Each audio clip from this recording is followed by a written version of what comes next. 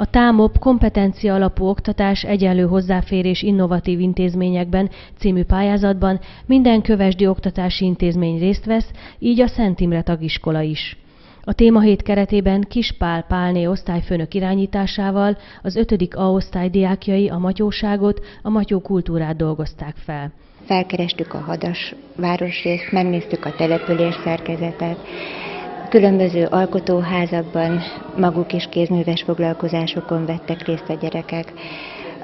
A szülők részéről nagy segítséget kaptunk abban, hogy megfőzték számukra a hagyományos matyó ételt, a göfűst, Jártunk a Matyó Múzeumban, emellett még gyűjtőmunkát is végeztek, tárgyi emlékeket kutattak, és otthon a internet, illetve könyvtár segítségével még mm, készültek vetélkedőre is, és a csoportonként bemutatták a tanultakat, vagy az összegyűjtött anyagot. A projekt zárónapján a diákok egy rövid műsor keretében mutatták be a héten tanultakat.